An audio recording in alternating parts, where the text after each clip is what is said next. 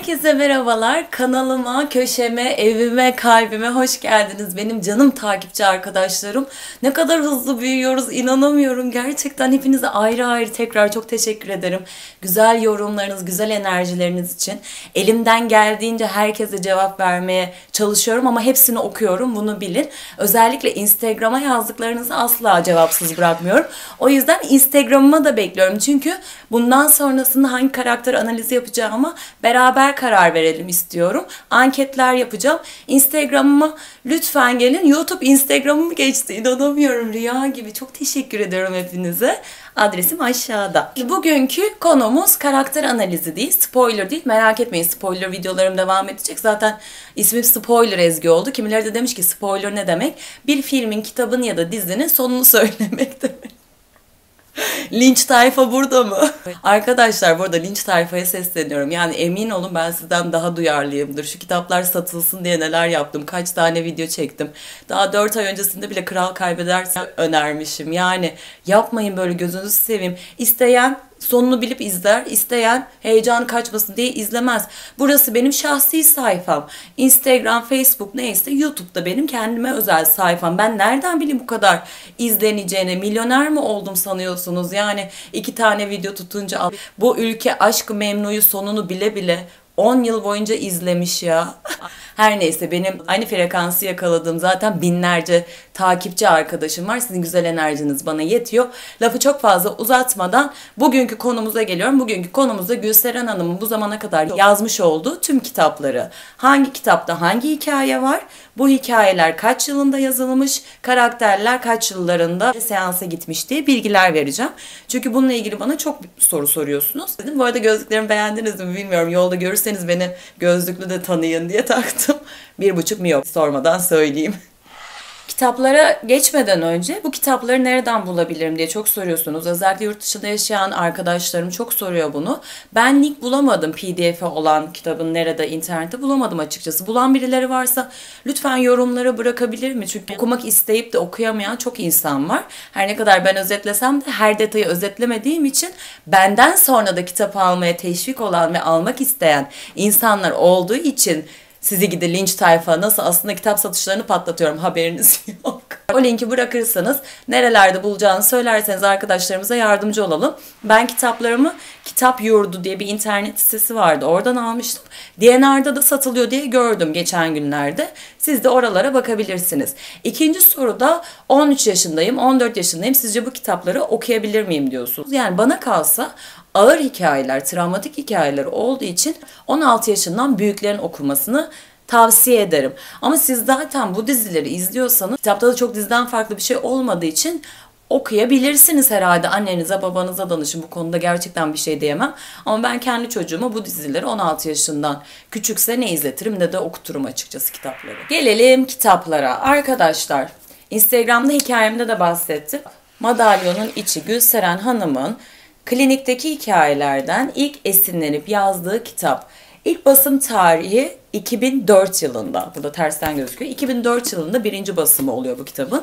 Bu kitabın içinde çöp ev hikayesi var. Çöp ev hangisiydi? Masumlar Apartmanı'nın esinlendiği hikayeydi. Kitapta 10 civarı farklı hikayeler var. Her hikayede işte seans seans gösteriyor. Aynı Kırmızı Oda'daki gibi. Bir hafta o geliyor, bir hafta o geliyor. İlerleyişler vesaire var. Bu kitabı ben size başlangıç kitabı olarak okumanızı öneriyorum.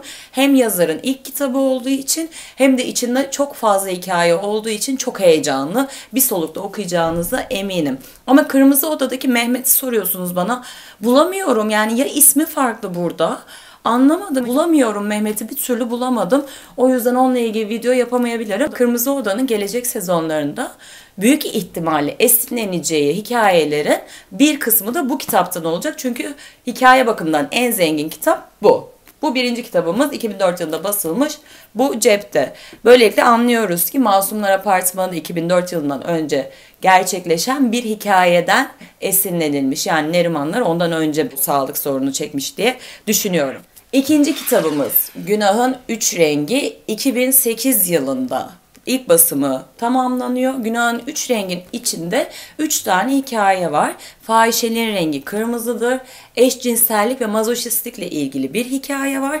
Fahişelerin rengi kırmızıdır hikayesi. Daha önce defalarca söylediğim üzere Kırmızı Oda'daki Melia'nın hikayesi. Şimdi diğer videolarımı izlemeyen arkadaşlarıma spoiler vermemek için hikayenin sonunda neye evrildiğini söylemeyeceğim. Siz biliyorsunuz zaten. kesin kesin alıp okuyun. Çünkü içindeki 3 hikayede kitabın sonunda birbirine bağlanıyor.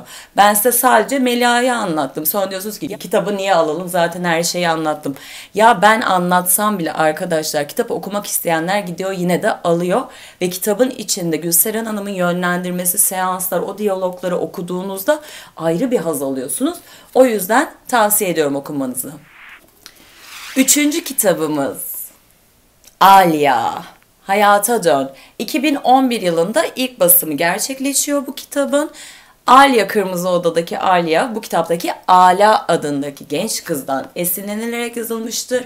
Şu ana kadar %90 aynı gidiyor diziyle. Onu söyleyebilirim. İlginç tarafı şu ki benim izlemediğim ama sizin yorumlarınızdan anladığım kadarıyla İstanbul Gelin dizisi de bu kitaptan esinlenilmiş ama bu kitaptaki Süreyya ve Esma Sultan'la dizideki Süreyya ve Esma Sultan arasında büyükçe bir fark olduğunu söylemek istiyorum. Özellikle Süreyya ile. Yani burada anne gerçekten tuhaf bir anne. Dizide iyi kalpli bir kadını canlandırıyormuş Aslı Enver. O yüzden de bilemeyeceğim. Gelelim dördüncü kitaba. Kral Kaybederse. 2015 yılında yazılmış. Bu kitapta da Kenan adıyla bir karakter var ve kitap tamamen onun üzerinden geçiyor. Avcı durumundan nasıl av duruma geldiği anlatılıyor. Çok böyle popüler, zengin, çapkın bir adamın hayat hikayesi var. Dolayısıyla Mehmet burada da yok. Yani Mehmet nerede bilmiyorum. Bu benim okuduğum en son kitabıydı. 2015 yılında çıkmıştı. Kral Kaybederse. Ben bunda çok ağlamıştım. Gelelim son kitabına. Camdaki Kız. Bu kitap hangisi? Hepinizin bildiği üzere ya da bilmeyenler de öğrensin artık. Doğduğun Ev Kaderindir dizisinin esinlendiği ve uyarlandığı kitaptır. 2019 yılında ilk basımı yapılmış. Ben şu an kitabı yeni aldım. Kitabı okuduktan sonra size karakter analizini yapacağım Zeynep'le ilgili. Ama izleyenler ve kitabı da okuyanlar diyor ki çok benzer yanı yok galiba bir İstanbullu gelin vakası. Temel olay örgüsünü almışlar büyük ihtimalle. Ama psikiyatri seanslarına daha yeni geçtiler diziden. Bilmiyorum nasıl evrilecek. Ben kitabı okuyayım. Diziyi bilenler de yorumlara yazsın. Böyle bir görev dağılımı yapalım. Çünkü şimdi oturup baştan aşağı doğduğun ev kaderindir izlettirmeyin bana rica edeceğim. Özetle arkadaşlar Gülseren Hanım'ın piyasadaki 5 kitabı bu. Hepsinin basım tarihlerini verdim. Aşağı yukarı içindeki hikayelerin de oluşma tarihlerini böylece tahmin edebiliyoruz. Yani o tarihlerden önce olmuş ki kitaba konu alınmış. Bunun dışında Instagram'da anketler yapacağım. Benim sorular sorduğum, hap bilgiler verdiğim köşem var. Sizi oraya da davet ediyorum. Çünkü Instagram'da bana mesaj attığınızda ya da yorum yazdığınızda direkt görüyorum ve sizinle gerçekten iletişim halinde olmak. Ya ben de sizi bir arkadaş olarak görüyorum. Siz diyorsunuz ya çok kafa kızsın. Keşke böyle bir arkadaşım olsa. E gelin hep birlikte sohbet edelim. Şunun şurasında kaç tane takipçim var zaten. Şaka bir yana videolarıma vermiş olduğunuz ilgi, yollamış olduğunuz güzel enerjiler, yazmış olduğunuz sevgi dolu yorumlar için aşırı teşekkür ediyorum. Bana fırsatçı diyorlar ama fırsatçılık değil. Hayatta her şeyi bir şeye vesiledir. Hiçbir şey tesadüf değildir. Ben bomboş bir insan olsaydım, bu videoyu çekseydim belki bu kadar sempatik gelmeyecektim size. Belki izlenmeyecektim. Her ne kadar kitabın sonunu söylesem de enerji akışı gerçekten tutuyor. Ben dediğim gibi tüm iyi niyetimle, tüm samimiyetimle her zaman sizlerin karşısında olmak istiyorum. Umarım siz de bana o güzel enerjilerinizi, niyetlerinizi sürekli yollarsınız. Sizi tanımak çok güzel. Daha da büyüdükçe daha da mutlu oluyorum. Beni dinlediğiniz için çok teşekkür ederim. Umarım bir nebze olsun sorularınızda yardımcı olmuşumdur. Karakter analizleri, spoilerla kitap özetlerim geliyor. Beni takipte kalın. Onun dışında da kendim kader motifini işleyeceğim. ilişkiler, hayatla ilgili aldığım eğitim çerçevesinde vereceğim önerilerim, tavsiyelerimin olduğu videoları da paylaşacağım. Beni izlediğiniz için tekrar teşekkür ederim. Kendinize çok iyi bakın. Bye bye.